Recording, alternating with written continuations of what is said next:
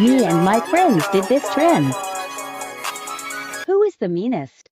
Pen or a pencil? No, I don't. Who is the nicest? Uzi.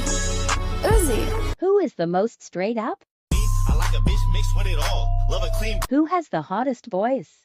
Gassed up, shawty. Said I need my Who is the freakiest? Lick me, tease me, touch me. Who gets the most guys a girl? Still got my money. Who is the weirdest?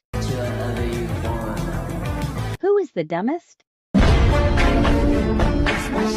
Who is the therapist of the group?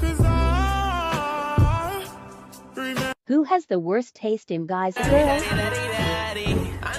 Who cries the most? Yes, you did.